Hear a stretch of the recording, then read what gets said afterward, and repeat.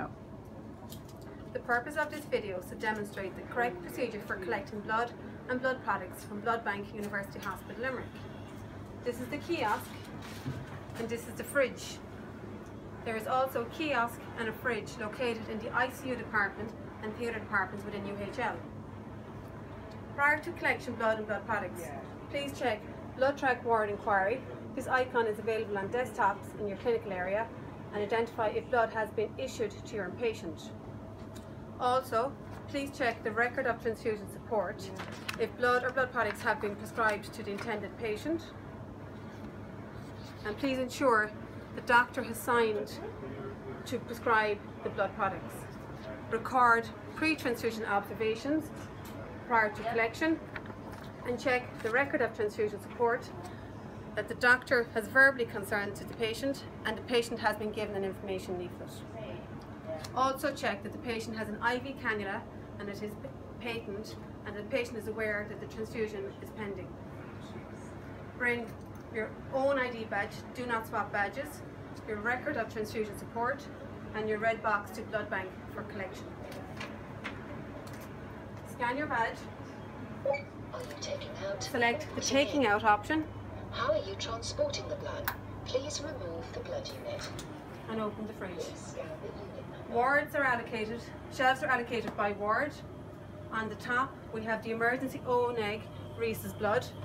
There are three units available. If you require this for your patient, please ring Blood Bank on 2267 or out of hours via switch. If you require batch products for your patient, each item must be scanned out individually and an individual check done on each. Locate your red cell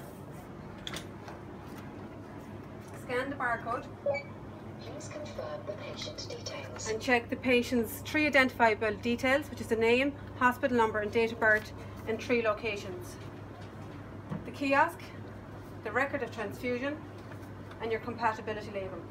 Please confirm the patient Once details. satisfied, say yes Good. and Please log out. Please then complete the additional checks.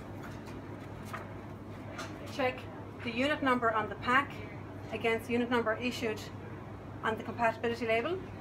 Check the, the donor blood group against the patient blood group. Check the expiry date on the product and check compliance with the 72 hour rule. The unit of blood must be transfused and ended prior to the 72 hours. Once satisfied, place in your red box and return to the ward for transfusion. If there is any delay, please return this unit to blood bank within 30 minutes. To return, scan your badge, Are you taking out? select putting in option Please scan the unit number. and scan. Good.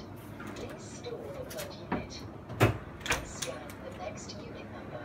Prompts for collection technique and procedure are located beside the kiosk. If there's any discrepancies when you're collecting your blood and blood products, please inform a member of staff prior to leaving Blood Bank. Thank you.